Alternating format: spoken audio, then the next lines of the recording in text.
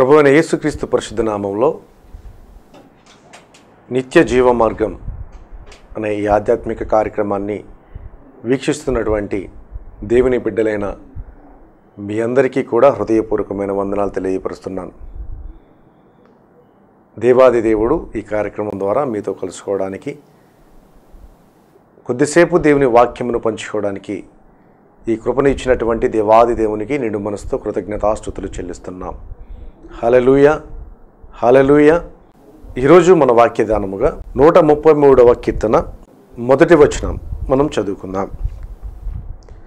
సహోదరులు ఐక్యత కలిగి నివసించుట ఎంత మేలు ఎంత మనోహరము. మూడవ వచనం చివరి లైన్లో ఆశీర్వాదమును శాశ్వత జీవమును అచ్చట ఉండవలనని యెహోవా సెలవిచ్చి ఉన్నాడు. ప్రజలాడ్ హలెలుయా సహోదరులు ఐక్యత కలిగి నివసించుట ఎంత మేలు ఎంత మనోహరము. ఆఖరిలో ఆశీర్వాదమును శాశ్వత జీవమును అచ్చట ఉండవలనని యహోవా సెలవిచ్చుచున్నాడు.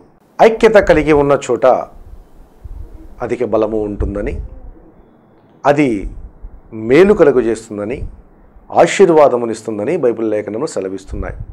అందుకే దావీదు భక్తుడు రాశాడు సహోదరులు ఐక్యత కలిగి ఉంటే అది చాలా మేలు కలుగుతుందని అది మనోహరంగా ఉంటుందని ఆశీర్వాదము వస్తుందని శాశ్వత జీవమును పొందుకుంటామని మరి దావిద భక్తుడు ఆ కీర్తనలో రాశాడు. ప్రేమైన దేవుని బిడ్డలారా ఈరోజు మన మానవ జీవితంలో గడుపుచున్న ఈ సమయములలో ఐక్యత గురించి ఈరోజు నేను మీతో మాట్లాడాలని ప్రభు పేరట మీ ముందుకు వచ్చాను. ఈ ఐక్యత అనేది మానవ జీవితంలో ఎంతో ప్రభావితము చేస్తుంది. మంచిని సంపాదించుకోవడానికి మేలు పొందుకోవడానికి ఆశీర్వాదము పొందుకోవడానికి అనేక రకాలైన దేవుని దీవెనలు పొందుకోవడానికి ఈ ఐక్యత చాలా దోహదపడుతూ ఉంది. చాలా మంది జీవితాలలో ఇటువంటి ఐక్యత లేక అనేక రకాలుగా మరి ఇబ్బందులు పడుతూ వారి జీవిత ప్రయాసలో అనేకమైన పరిస్థితులను ఎదుర్కొంటూ ఒంటరిగా జీవిస్తూ ఎంతో లోన్లీగా ఫీల్ అవుతూ నాకంటూ ఎవరూ లేరు నన్ను ఆదరించే వాళ్ళు ఎవరూ లేరు నన్ను పట్టించుకున్న వాళ్ళు ఎవరూ లేరని చెప్పి చాలామంది ఫీల్ అవుతూ ఉంటారు. కానీ దేవుడు నీకు ఒక కుటుంబం ఏర్పరిచాడు. ఆ కుటుంబంలో నువ్వు ఐక్యత కలిగే మనసు నీలో ఉంటే ఐక్యతగా జీవించే మనసు నీలో ఉంటే దేవుడు నిన్ను ఆశీర్వదిస్తాడు. హలెలుయ హలెలుయ ఈ ఐక్యత కలిగి ఉన్న చోట ఎంతో బలం ఉంటుంది. చూడండి మన పెద్దలు చెబుతూ ఉంటారు ఒక కట్టెని తీసుకొచ్చి మన చేతిలో పెడితే దాన్ని సులువుగా విరగొట్టగలం అటువంటిది ఒక పట్టి పది కట్టెలు తీసుకొచ్చి మన చేతిలో పెడితే ఆ పది కట్టెలను మనం విరవలేం. ఎందుకనంటే అది చాలా బలంగా దృఢంగా ఉంటాయి. నీ జీవితంలో కూడా నీవు నీ కుటుంబముతో ఐక్యత కలిగి జీవిస్తే ఎటువంటి దుష్టశక్తి నీ కుటుంబమును కదిలించలేదు. హలలుయ హలలుయ మరి నీ కుటుంబంలో ఐక్యత కలిగి జీవిస్తున్నావా అనేది ఈరోజు మన ప్రశ్న. సహోదరులు ఐక్యత కలిగి నివసించుట ఎంత మేలు ఎంత మనోహరము కదా?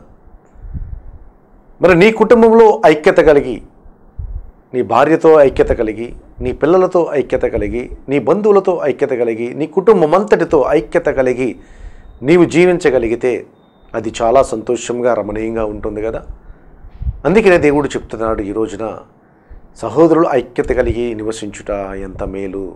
అపవాది ఈ రోజున ఐక్యతను దెబ్బతీయడానికి అనేకమైన వలలు వేసుకుంటూ ఉచ్చులు వేసుకుంటూ ఈ రోజున ప్రతి ఒక్క మానవ జీవితాన్ని చెడగొట్టడానికి ఎంతో కారణమయ్యి ఏదో ఒక విధంగా మిమ్మల్ని పక్కదోరి పట్టించడానికి తపన పడుతూ తాపత్రయపడుతూ ఉంటాడు. కానీ మీరు కుటుంబంతో ఐక్యత కలిగి ఆధ్యాత్మిక జీవితంలో ఏకతాటి మీద మీరు నడిస్తే మీ కుటుంబంను కదిలియటానికి వాడి తరం కాదు. కాబట్టి ప్రియ దైవజనమా ఈ వాక్యం వింటున్న నీవు ఐక్యతగా కలిగి నివసించాలి అని ఒక తపన ఒక ఆశ ఒక దృఢ సంకల్పం నీవు కలిగి ఉంటే మరి దేవుడు ఈరోజు నీతో మాట్లాడుతున్నాడు. బైబిల్ గ్రంథంలో నుంచి కుటుంబంతో కలిసి ఐక్యత కలిగి జీవించిన ఒక కుటుంబాన్ని నేను మీకు చూపిస్తాను. అపోస్తుల కార్యంలో మనము చూస్తే పదో అధ్యాయము ఒకటో వచనము నుండి ఇక్కడ మనకు ఒక భక్తుడు కనిపిస్తాడు. ఒకసారి చదువుకుందాం చూడండి. ఇటలీ పటాలములో శతాధిపతి అయిన కొర్నేలి అనే భక్తిపరుడు కైసరులో ఉండడు అతడు తన ఇంటి వారందరితో కూడా దేవుని యందు భయభక్తులు గలవాడై ఉండి ప్రజలకు ధర్మకార్యము చేయుచు ఎల్లప్పుడూ దేవునికి ప్రార్థన చేయువాడు. పగలు ఇంచుమించు మూడు గంటల వేళ చూడండి ఇక్కడ. ఇటలీ పటాలమనబడిన పటాలములో శతాధిపతి అంటే వంద మంది మీద అధికారి. మంచి పొజిషన్ గల వ్యక్తి. సాధారణంగా కుటుంబంలో మన ఉన్నత ఉద్యోగి ఏదైనా ఉన్నత స్థానంలో ఉంటే చాలా మనం దాని ఉద్యోగాన్ని బట్టి గర్విస్తూ ఉంటాం. కానీ ఈ శతాధిపతి అయిన కొర్నేలి దేవుని యందు భయభక్తులు గలవాడు మాత్రమే కాకుండా తన ఇంటి వారందరినీ కూడా ఏకతాటి మీద నడిపించిన వ్యక్తి. Praise lord. హలలుయ ఈ కొర్నేలి తన కుటుంబం అంతటితో కలిసి ఇక్కడ చదివితే మనము తన ఇంటి వారందరితో కూడా దేవుని యందు భయభక్తులు గలవాడై ఉండి అంటే తన జీవితం మొదలుకొని తన ఇంటి వారందరినీ కూడా దేవుని యందు భయభక్తులుగా పెంచాడు. అంటే ఐక్యత కలిగి జీవించి అందరినీ కూడా ఒక తాటి మీద నడిపించి ఆ ఐక్యతతో దేవుని సేవించే విధముగా దేవుని యందు భయభక్తులు గల వాడిగా దేవునికి ప్రార్థన చేస్తూ దేవునికి ధర్మకార్ చూడండి ఎన్నో అనేక మందికి దేవుని చేత ప్రేరేపితుడై అనేక మందికి ధర్మకార్యములు కూడా చేయువాడిగా ఈ కొర్నేలి ఉన్నాడు. ప్రియ దైవజనమా ఎక్కడైతే ఐక్యత ఉంటుందో దేవుడు ఆ కుటుంబంలో ఉంటాడు. ఎక్కడైతే ఐక్యత కలిగి కుటుంబం అంతా కూడా ఆ దేవుని సన్నిధిలో గడుపుతారో దేవుని ఎందు భయభక్తులు కలిగి జీవిస్తారో వారి దగ్గర దేవుడి నివాసము చేస్తాడు. అంత మాత్రమే కాదు ఏ సమయంలోకి ఏది అవసరమో ప్రతిదీ అనుగ్రహించి పోషించి సంరక్షిస్తాడు. కాబట్టి మీరు మీ కుటుంబంతో ఐక్యత కలిగి దేవుని ఎడల భయభక్తి కలిగి ఉన్నారా లేదా అనేది ఒకసారి మనం ప్రశ్న చేసుకుందాం. కృపగల దేవుడు ఐక్యత ఉన్న చోట నివసించడానికి ఎంతో ఆసక్తిని కనబరుస్తాడు. ప్రభువుని ఏసయ్య ఏ కార్యము చేసినా కానీ ఒక క్రమ పద్ధతిలో చక్కగా ఆశీర్వాదకరంగా చేస్తూ ఉండేవాడు. అదే క్రమశిక్షణమైన భక్తిని మనకు నేర్పించాడు.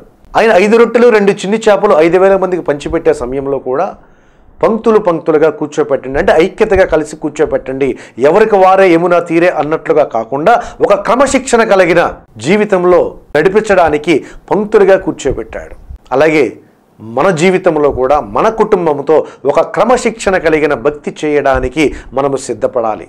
క్రమశిక్షణ ఎక్కడ ఉంటుందంటే ఐక్యత కలిగి ఇప్పుడు ఒక డాడీ పిల్లలకి అరే మీరు ఇది చేయండిరా అంటే ఎప్పుడైతే ఆ పిల్లలు తండ్రికి విధేయులు అవుతారో అక్కడ ఐక్యత ఉంటుంది. అలా కాకుండా తండ్రి చెప్పిన దానికి అవిధేయులై అరే మీరు అది చేయండిరా అంటే నువ్వు చెప్పింది మేము చేయాలా మేము ఇలాగే చేస్తామన్నారు అనుకోండి అక్కడ ఐక్యత ఉండినట్లా? కాదు కదా. అలాగే కుటుంబం యజమానిగా ఉన్న ఈ తండ్రి కుటుంబానికి ఒక ఆజ్ఞ ఇస్తే ఆ ఆజ్ఞను పాటించినప్పుడే ఐక్యత అనేది అక్కడ కనబడుతూ ఉంది. మరి ఈ రోజున నీ కుటుంబంలో దేవుని సన్నిధిలో నీ పిల్లలను నడపడానికి తండ్రే కానీ తల్లే కానీ పిల్లలే కానీ దేవుని సన్నిధిలో ఎదగడానికి కుటుంబం అంతటితో కలిసి నువ్వు ప్రార్థన చేసే అనుభవం నీకు ఉందా? ప్రార్థన చేసే అనుభవం నీకుంటే దేవుని దర్శనం నీకు కలుగుతుంది. ఇక్కడ కొర్రెనికి కూడా అదే దర్శనము కలిగింది కదా? తన ఇంటి వారందరితో కలిసి ప్రార్థన చేశాడు. ఆ ప్రార్థన దేవుడు ఆలకించి. ఆ అధ్యాయంలో మీరు చదువుకుంటే కొన్నెల్లి చేసిన ప్రార్థన దేవుడు ఆలకించినట్లుగా నీవు చేసిన ధర్మ కార్యములు నువ్వు చేసిన ప్రార్థన దేవుని సన్నిధికి చేరినది అని అక్కడ ప్రస్తావించబడింది. ఈ రోజున అనేకమైన ప్రార్థన అవసరతలు నువ్వు ఉన్నావు. అనేకమైన ప్రార్థనలు ఫలించాలని చెప్పి ప్రార్థన చేస్తున్నావు. మరి ప్రార్థించే నీవు ఐక్యత కలిగి కుటుంబంతో కలిసి ప్రార్థన చేయగలిగితే దేవుడు నీ ప్రార్థన ఆలకిస్తాడు. హలే లూయ హలే లూయ అనేక మందికి నిన్ను ప్రయోజనకరంగా దేవుడు వాడుకుంటాడు. మరి నీ కుటుంబంతో నువ్వు కలిసి ప్రార్థన చేస్తున్న అనుభవం నీలో రావాలి. నీ కుటుంబంలో ఉండాలి. కాబట్టి ప్రియ దైవజనమా ఈ వాక్యం వింటున్న నీవు మొట్టమొదటిగా నీ కుటుంబంలో ఐక్యత కలిగి జీవించాలి. పిల్లలు తల్లిదండ్రులకు విధేయులే జీవించాలి. భక్తి మార్గంలో నడిపిస్తున్నప్పుడు నువ్వు చెప్తే నేను వినేదేంటి డాడీ? నువ్వు చెబితే నేను వినేదేంటి మమ్మీ? అని చెప్పి తల్లిదండ్రులకి తిరుగుబాటు చేయకుండా ఎప్పుడైతే నీ జీవితాన్ని పిల్లలు ధైర్యగా నువ్వు తల్లిదండ్రులకు ఉన్నావో దేవుడు నిన్ను ఆశీర్వదిస్తాడు. మంచి పొజిషన్లో నిన్ను ఉంచుతాడు. కాబట్టి నీవు నీ కుటుంబం ఐక్యత కలిగి దేవునికి ప్రార్థన చేసేవారిగా ఉండాలి. రెండవదిగా చూస్తే చూడండి ఒక సంఘం ఒక దైవజనుడి కోసం ఐక్యత కలిగి ఆసక్తితో ప్రార్థన చేసింది. ఎటువంటి సమయంలో? దేవుడు నీకు ఒక కుటుంబాన్ని ఏర్పరిచాడు. నీవు ఒంటరిగా ఉన్నావు అనే ఆలోచన నీలో ఎప్పుడు కూడా రానీకు. ఎందుకనంటే ప్రభు యేసుక్రీస్తు ద్వారా నువ్వు రక్షించబడి సంఘములో చేర్చబడ్డావు. సంఘములో చేర్చబడిన నీవు అనేక మధ్య జనముల మధ్య నువ్వు ఉంటున్నావు. ఇప్పుడు సంఘంలో ఉన్న ప్రతి ఒక్కరూ కూడా నీ కుటుంబమే. దైవజనుడు మరి నీకు కాపరి అయి ఉన్నాడు. నీకు ఎవరు లేరు అనుకోవద్దు. కాబట్టి సంఘములో కలుపు గడుపుతున్నావు సంఘ సహవాసంలో నీవు జీవించగలుగుతున్నావు సంఘముతో ఆనందించగలుగుతున్నావు సంఘ కార్యకలాపాల్లో నువ్వు పాల్గొనగలుగుతున్నావు. అనేక మంది దైవ భక్తి చేస్తున్న క్రూసెట్స్లో నువ్వు పాల్గొనగలుగుతున్నావు. మరి నీకంటూ ఒక సంఘం ఏర్పడింది. ఆ సంఘంలో ఒక దైవజనుడిని అరెస్ట్ చేసి చెరసాల్లో వేశారు. ఎందుకనేనంటే ప్రభు అయిన యేసుక్రీస్తు వారి సువార్తను విరివిగా అనేక మంది ప్రజలకు ఆయన ప్రకటిస్తున్నాడు. క్రీస్తును ఎరగని వారికి క్రీస్తు విరోధులకు ఆయన శత్రువయ్యాడు. కాబట్టి అక్కడున్న రాజ్యాధికారాన్ని బట్టి పేతురుని తీసుకెళ్ళి చెరసాలలో వేశారు. పేతురు అనే దైవజనుణ్ణి. ఎప్పుడైతే దైవజనుడిని చెరసాలలో వేశారో మరి సంఘ కాపరి మనకు లేడు. మనము ఆసక్తితో ప్రార్థన చేసి ఐక్యత కలిగి ప్రార్థన చేస్తేనే మన దైవజనుడికి విముక్తి కలుగుతుంది. దేవుడు మన ప్రార్థన ఆలకిస్తాడు. కాబట్టి సంగమా మనందరం కలిసి ప్రార్థన చేద్దాం అని చెప్పి అక్కడ సంఘము పేతురు గురు గురించి ప్రార్థన చేశారు. అది మనము చూడాలంటే అపుస్తుల కార్యము పన్నెండవ అధ్యాయము ఐదవ వచనంలో మనము చూడగలం. సచ్చుద్దాం చూడండి. పేతురు చెరసాలలో ఉంచబడెను. సంఘమైతే అతని కొరకు అత్యాసక్తితో దేవునికి ప్రార్థన చేయుచు ఉండెను. హలలుయ హలలుయ చూడండి ఇక్కడ సంఘమైతే అతని కొరకు అత్యాసక్తితో దేవునికి ప్రార్థన చేయుచుండెను సంఘములో ఎవరికైనా ఏదైనా కష్టం కలిగినప్పుడు సంఘము ఐక్యత కలిగి ప్రార్థన చేస్తే ఖచ్చితంగా దేవుడు ఆలకిస్తాడు. సంఘములో ఐక్యత ఉండాలి. సంఘము ఐక్యత కలిగి భక్తి చేయాలి. దైవజనుడి గురించి ప్రజ్ఞ- ప్రార్థన చేయాలి. ఎందుకని? ప్రభువా మీ స్వార్థను ప్రకటించే కాలక్రమంలో అనేకమైన వ్యతిరేకమైన పరిస్థితులు మరి దైవజనులకు వస్తున్నాయి అయ్యా. దైవజనులకు వచ్చినప్పుడు ఆ వ్యతిరేకమైన పరిస్థితుల నుంచి వారిని తప్పించాలి ప్రభువ. ఎందుకంటే అందరూ అంతటను మారు మనసు పొంది మీరు అనుగ్రహించి స్వాస్థ్యము వారి పొందాలయ్యా. వారి పొందాలంటే మీరు ఏర్పరచుకున్న మీ కనుపాపల వంటి దైవజనులు మీ సత్య సువార్తను ప్రకటించాలని ఆయన ప్రకటించాలంటే వారికి విరోధముగా ఏర్పడుతున్న సంఘ విద్రోహ శక్తులను అణిచివేసి వారికి బలమును శక్తిని నువ్వు అనుగ్రహించాలి ప్రభువా అని అనువు ఆ శక్తితో సంఘమంతరూ కలిసి ప్రార్థన చేస్తే ఖచ్చితంగా దేవుడు నీ ప్రార్థన ఆలకిస్తాడు. అనేకమైన కార్యములు మీరు చూడగలరు. మీ సంఘాలలో అనేకమైన కార్యములు చూడగలరు. ఎంత కరుడు కట్టిన సమ- సమస్యలైనా సరే అవి పటాపంచలైపోయి వాటి నుంచి విముక్తి పొందగలరు. ఆ సందర్భమే ఈ అపోస్తుల కార్యం పన్నెండో అధ్యాయంలో మనము చూడగలం. పేతుని సంఖ్యలు వేసి చెరసాల్లో బంధించేశారు. వీళ్ళందరూ కూడా ఎంతగానో మా దైవజనుని విడిపించు ప్రభువా అని ఆసక్తితో ప్రార్థన చేశారు. ప్రార్థన చేయగా అక్కడ ఏం జరిగిందో మనము చూద్దాం. ఇక్కడ ఏడో వచనంలో చూస్తే ఇదిగో ప్రభువు దూత అతని దగ్గర నిలిచెను. డైరెక్ట్గా అలా సంఘము ఆసక్తితో ప్రార్థన చేయగా డైరెక్ట్గా దేవుని దూతను పంపించేశాడు. పేతుని విడిపించడానికి దూతను పంపించేశాడు. అంత మాత్రమే కాదు అతడు ఉండిన గదిలో వెలుగు ప్రకాశించను. చూడండి చీకటిలో ఎంతగానో పేతురు గారు చీకటి గదిలో బందీ అయి ఉన్నప్పుడు ఆ చీకటిని తొలగించి వెలుగును ప్రసా ప్రకాశింపజేశాడు మన ప్రభు అయిన ఎందుకని? సంఘము ఆసక్తితో ప్రార్థన చేసి. పేతురాము చెరసాల్లో ఉంచబడ్డాడు. దైవజనుడు చెరసాల్లో ఉన్నాడు. మరి సంఘము ఆసక్తితో ప్రార్థన చేయగా దేవుడు దూతను దైవజనుడి దగ్గరికి పంపించాడు. అంత మాత్రమే కాదు చీకటిని తొలగించి వెలుగు ప్రకాశించేలాగా చేశాడు. అంత మాత్రమే కాదు ఇక్కడ చూడండి చూడ దూత పేతురును పక్కన తట్టి త్వరగా లెమ్మని చెప్పి అతను లేపగా సంఖ్యలు అతని చేతుల నుండి ఊడిపడిపోయిన చూడండి సంఖ్యల చేత బంధించబడిన ఈ పేతురు గారి సంఖ్యలు వాటంతటి అవి ఊడిపడిపోయినాయి. ఈ రోజున సంఘాలలో ఎటువంటి సంఖ్యల చేత మీరు పీడించబడుతున్నారు? ఎటువంటి కట్ల చేత మీరు పీడించబడుతున్నారు? ఎటువంటి సమస్యల చేత మీరు పీడించబడుతున్నారు? బందీలైపోయి సాతను చెరలో సంఖ్యలు వేసుకొని వాడు మీకు సంఖ్యలు వేసేసి దిక్కు తోచని పరిస్థితుల్లో మీరు ఉంటే సంగమా మీరందరూ ఐక్యత కలిగి ప్రార్థన చేయండి. ఒకరి కోసం ఒకరు. ఒకరి కోసం ఒకరు మీరు ప్రార్థన చేస్తే దేవుడు ప్రార్థన ఆలకించి ఆ సంఖ్యలు తెంచేస్తాడు. వాటంతటి అవి ఊడిపోతాయి. అంత మాత్రమే కాదు. అతడు వెలుపలకు వచ్చి దూత వెంబడి వెళ్ళి దూత వలన జరిగిన నిజము జరిగినని గ్రహింపక చూడండి దర్శనము కలిగిన తలంచెను. మొదటి కావల వాళ్ళు రెండవ కాలువను దాటి పట్టణముకు పోవు. ఇనుప గవని యొద్దకు వచ్చినప్పుడు దానంతటదే వారికి తెరుచుకొనేను. అంటే ద్వారము మూయబడిన ద్వారము కూడా దానంతర్గత తెలుసుకుంది ఎందుకని? సంఘము ఆసక్తితో ప్రార్థన చేసి సంఘము ఆసక్తితో పేతురు గారి గురించి ప్రార్థన చేసింది దైవజనుడి గురించి ప్రార్థన చేసింది. నీకు కలిగిన సంఖ్యల నుంచి నీకు కలిగిన బాధ నుంచి నీకు కలిగిన సమస్యల నుంచి నీకు కలిగిన కష్టము నుంచి ఎంతగానో చెప్ప సఖ్యము కాని నీ బాధ నుంచి దేవుడు విడిపిస్తాడు. ఎప్పుడు? సంఘమందరితో నీవు ఐక్యత కలిగి ఉంటే సంఘముతో దైవజనుడితో ఐక్యత కలిగి నీవు జీవిస్తే అలా కాకుండా ఎడ్డి వెంటి తడ్డంలాగా నేను అడ్డుపోతానంటే నేను ఇటుపోతాను అని చెప్పి ప్రవర్తిస్తే నీ ప్రార్థన దేవుడు ఆలకించాడు. సహోదరుడు ఐక్యత కలిగి నివసించడా ఎంత మేలు ఎంత మనోహరము. ఆశీర్వాదమును శాశ్వత జీవము అతడు ఉండవలనని యహోవా సెలవిచ్చి ఉన్నాడు కదా. మరి నువ్వు సంఘంలో ఐక్యత కలిగి జీవిస్తున్నావా? దైవజనుడికి మాటకు నువ్వు ఐక్యత కలిగి నువ్వు ఆ అవుతున్నావా? సంఘమందరితో కలిసి ఆసక్తితో ప్రార్థన చేస్తున్నావా? సంఘమంతా కూడా ఆసక్తితో ప్రార్థన చేస్తూ ఉంటే నీవు నాకు పట్టలేదన్నట్టు దిక్కులు చూస్తూ అటు ఇటు ఉంటున్నావా? ఒక్కసారి నీకు నువ్వు విమర్శ చేసుకో. ప్రియ దైవజనమా ఇక్కడ సంఘము ఆసక్తితో ప్రార్థన చేసింది ఐక్యతతో ప్రార్థన చేసింది ఐక్యత కలిగి జీవించింది. పేతురు గారికి వేసిన సంఖ్యలు తెగిపోయాయి. చీకటిలో వెలుగు ప్రకాశించింది. ద్వారము దానంతరికి అదే తెరుచుకుంది. అనేక మందికి సత్య స్వార్థ ప్రకటించడానికి కారణమైంది కదా ఆ ప్రార్థన ఐక్యత కలిగిన ప్రార్థన. మరి నీ విశ్వాస జీవితం కొనసాగిస్తున్న నీవు నీ సంఘములో నీ సంఘములో ఐక్యత కలిగి జీవించాలనేది దేవుని కోరిక దేవుని ప్రణాళిక. కాబట్టి ఆ ఐక్యతను పోగొట్టుకోకుండా మరి నువ్వు జీవించడానికి నువ్వు సిద్ధపడితే దేవుడు నీకు ఆశీర్వాదం ఇవ్వడానికి సిద్ధముగా ఉన్నాడు. హలెలుయ అంత మాత్రమే కాదు మరి ఇంకో సందర్భం మీ ముందు నేను ఉంచుతాను. ఇజ్రాయిల్ ప్రజలు కాలానుయాత్రలో నడుస్తూ వెళ్ళినప్పుడు మోషే ఇజ్రాయల్ ప్రజలు నడిపిస్తూ వచ్చాడు. దేవుడు మోషేకి ఏదైతే ఆజ్ఞాపించాడో అది చేసినప్పుడు అద్భుతాలు ఆశ్చర్యకార్యాలు చేశాడు. దానికి ప్రజలు కూడా సహకరించినప్పుడు అద్భుతాలు ఆశ్చర్యకార్యాలు చేసినట్లుగా మనం చూస్తాం.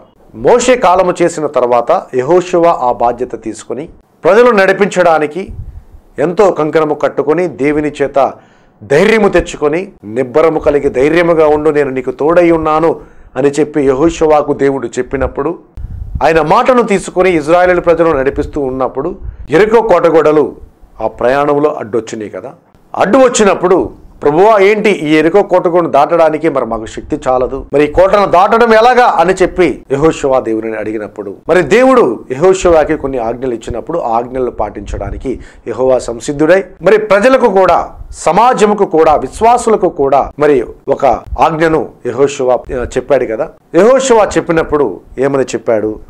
ఆరవ అధ్యాయము పదిహేనవ వచనం చూడండి మనం చూద్దాం. యహోశివా గ్రంథం ఆరవ అధ్యాయము మనము చదవగలిగితే పదో వచనములో యహోశివ మీరు కేకలు వేయడని నేను మీతో చెప్పును దినము వరకు మీరు కేకలు వేయవద్దు.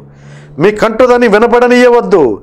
మీ నోట నుండి ఏ ధ్వని రావాలదో నేను చెప్పినప్పుడే మీరు కేకలు వేయవలనని జనులకు ఆజ్ఞ ఇచ్చాను. ఎందుకు? దేవుడు చెప్పాడు ఆరు దినములు మౌనంగా ఎరుక కోటగోడల చుట్టూ తిరగండి. ఏడవ దినమున అని దేవుడు ఒక ఆజ్ఞ చెప్పి ఆ ఆజ్ఞ యహోశవ చెప్పినప్పుడు అదే ఆజ్ఞ ప్రజలకు చెప్పాడు.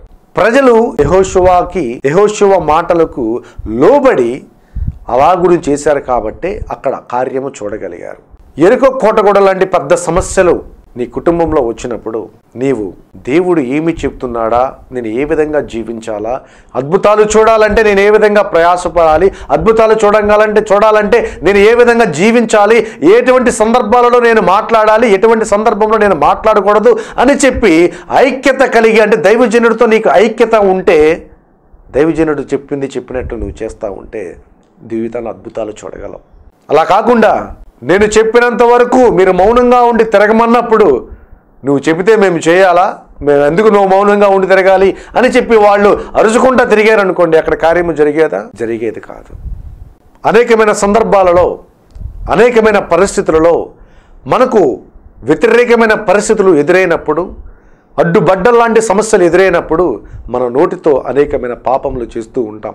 శ్రమ వచ్చినప్పుడు నువ్వు మౌనంగా ఉండడం చాలా మంచిది. కష్టం వచ్చినప్పుడు నువ్వు సైలెంట్గా ఉండడం చాలా మంచిది. ఎందుకంటే నువ్వు మాట్లాడితే దేవుడు కార్యము చేయడు. నువ్వు మాట్లాడకుండా నీ సమస్యను నీ కష్టమును నీ శ్రమను దేవునికి అప్పచెప్పినప్పుడే దేవుడు నీ పక్షాన మాట్లాడుతూ ఉంటాడు. దేవుడు వ్యాధ్యమాడుతూ ఉంటాడు. కానీ అది కాకుండా ఆ సమస్యను ఆ శ్రమను మొత్తం నీ చేతుల్లోకి తీసుకొని నేను ఏదైనా చేసేసుకుంటానే సమర్థుడిని అనుకో నువ్వు అనుకుంటే నీ ఒక్కడి వల్ల ఏమీ కాదు. సమాజమంతా కూడా ఇజ్రాయెల్ ప్రజలంతా కూడా ఏకతాటి మీద నడిచినప్పుడు అద్భుతాలు చూశారు. ఏకతాటి మీద ప్రయాణించినప్పుడు అద్భుతాలు చూశారు. దైవజనుడు మాట వినినప్పుడు అద్భుతాలు చూశారు. ఆరు రోజులు మౌనంగా దాని చుట్టూ ప్రదక్షిణ చేయమన్నప్పుడు మౌనంగా వచ్చేశారు. తర్వాత ఏడవసారి ఏడవ దినమున చూడ పదిహేను వచనంలో మనం చూస్తే ఏడవ దినమున వారు ఉదయమున చీకటితోనే లేచి ఏడు మారులు ఆ ప్రాకారముగానే పట్టణము చుట్టూ తిరిగిరి. ఆ దినము మాత్రమే వారు ఏరు మారులు పట్టణము చుట్టూ తిరిగిరి. ఏడవ మారు యాజకులు బూరల ఊదక యహోశివ జనులకు ఇలాగ ఆజ్ఞ ఇచ్చను కేకల వేయడి. యహోవా ఈ పట్టణమును మీకు అప్పగించుచున్నాడు. ఈ పట్టణము దీనిలో ఉన్నది యావత్తును యహోవా వలన శపింపబెడును. ఈ పట్టణమును మీకు ఇస్తున్నాడు. ఈ పట్టణం మీకు అప్పచెప్తున్నాడు కేకలు వేయండి ఇంకా. బోరలోదండి అని చెప్పి ఆజ్ఞ ఇచ్చినప్పుడు వారు అలాగే చేశారు. కోటగూడలు కూల్చాలంటే బోరలు ఒత్తే కేకలు వెత్తి కూల్చిపోతాయా? కూలిపోవుగా? బాంబులు పెట్టాలి లేకపోతే దేనితోన్నా తీసుకొచ్చి కూల్చేయాలి. కానీ వీరు బోరలు ఊదారు కేకలు వేశారు.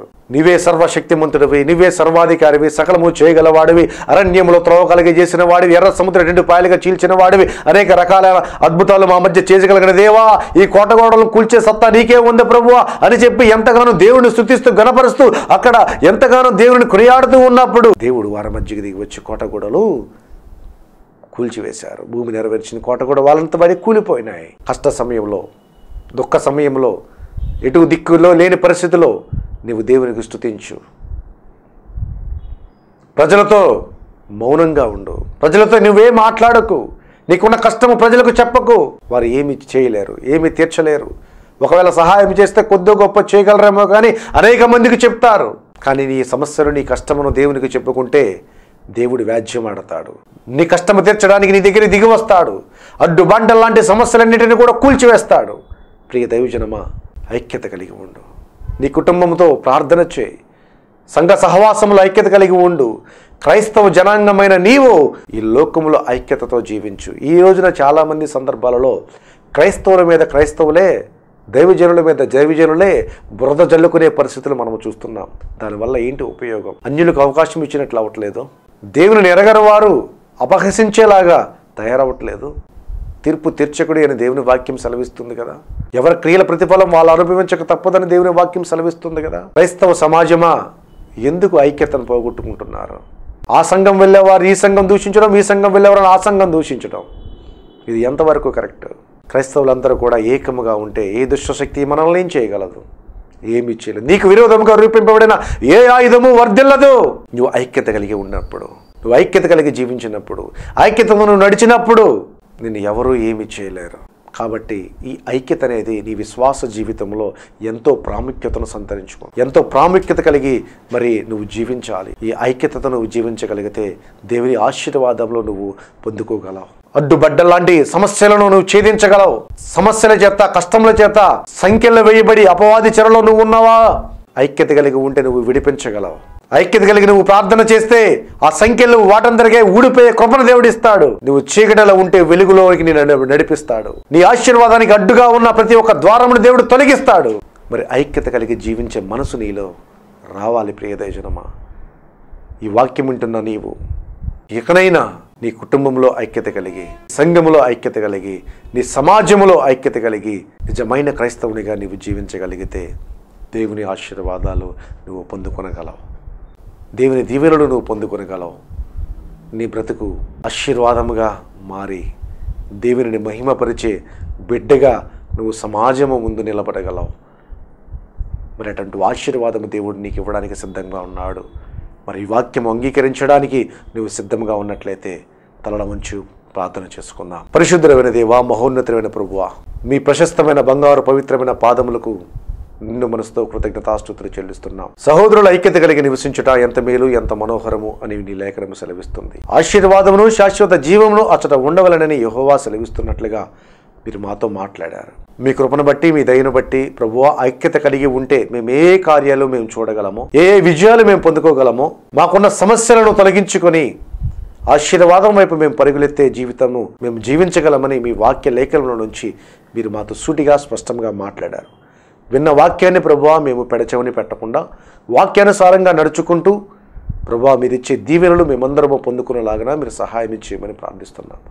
ఇప్పటి వరకు వాక్యం వింటున్న ప్రతి ఒక్క బిడ్డను పేరు పేరున మీరు దీవించి ఆశీర్వదించి మీ కృపత నింపి మీరు రాకడ కోసం ఎదురు చూసే బిడ్డగా ప్రతి ఒక్కరిని ప్రభువ మీరు సిద్ధపరిచి మీ కృపతో నింపి మీ రాకడ పర్యాంతం వరకు కూడా మా ఆత్మీయ జీవితాన్ని ప్రభ మేము కాపాడుకుంటూ ఈ విశ్వాస యాత్రను ప్రభ కొనసాగించే జీవితాన్ని మా దయచేయమని ప్రార్థిస్తూ మీరే మహిమాగణత ప్రభావం పొందమని నజడని యేసుక్రీస్తు పరిశుద్ధ నామను బట్టి ప్రార్థించి మృతిమలాడి వేడుకుని నాం పరమ తండ్రి. ఆమెన్. దేవుడు మిమ్మల్ని దీవించునుగాక.